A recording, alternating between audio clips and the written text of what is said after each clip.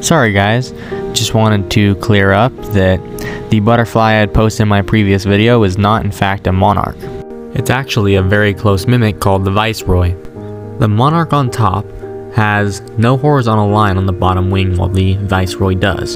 Here you can see the body of a monarch with spots. The butterfly that I'm showing you now is the Viceroy. It does not have those white spots. The Viceroy butterfly has also least concern status. It is not endangered in any way. Also, the length of the butterfly going down is approximately 2 inches, while the wingspan is around 2.5 inches, which is actually pretty darn close to the average amount. Again, I apologize for any confusion I've created. Thanks for watching.